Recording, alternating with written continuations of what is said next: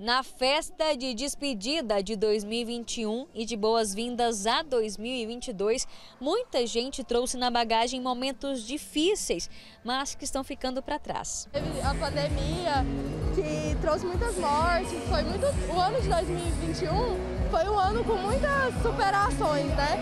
É, para o ano de 2022 a gente espera superar todos esses problemas. A energia da comemoração estimula os planos para esse ano que acabou de chegar. Trocar de carro, porque o meu tá muito velho e eu preciso de um mais novo. O ano que vem eu formo, se Deus quiser, e assim, é, dedicar né, a minha profissão e a minha família inteira com saúde. Isso para mim já é o suficiente teve desejos que foram antecipados. O Arthur passou 2021 inteiro solteiro, à procura de alguém e está entrando o novo ano já de casalzinho. Em duas semanas a gente ficando, já decidiu namorar, a mulher apertou, puxou a corda e teve que namorar. E essas celebrações não podem ficar sem aquele registro caprichado. Os momentos são únicos, né? Vai ficar aí para várias gerações. Hoje o registro é o que a prova que a gente tem, né?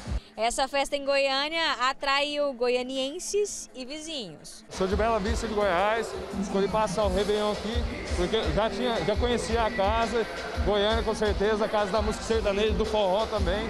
E com certeza vai ser muito animado começar o ano de 2022 com o pé direito. A cor branca predominou nas roupas, mas tinha aqueles que investiram em colorido. acho que todo mundo está precisando de amor, de paz, saúde, de dinheiro também.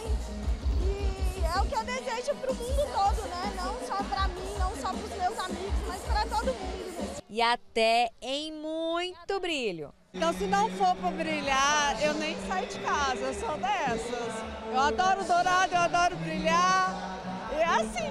Entre as atrações que animaram as diferentes tribos, teve Murilo Ruff, que engatou grandes sucessos sertanejos.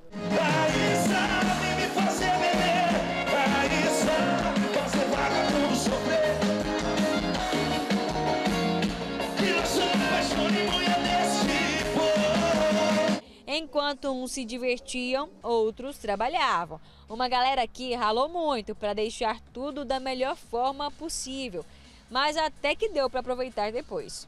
Eu não tenho nada a fazer em casa e eu aproveito a festa trabalhando. Todas as cores e sonhos se uniram para a contagem regressiva que anunciou 2022 e os desejos para o ano recém-nascido. Cinco! Saúde! Quatro!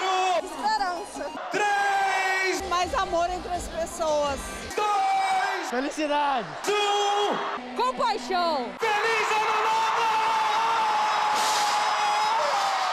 Novo! Nesse primeiro dia de 2022 que a gente comece com o pé direito.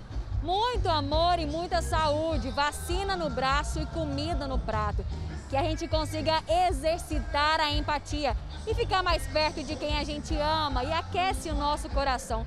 Falando nisso, já deu minha hora e eu vou embora. Para você, um feliz 2022.